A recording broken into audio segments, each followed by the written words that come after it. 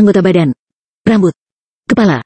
leher, bahu, perut, ketiak, lengan, siku, pergelangan tangan,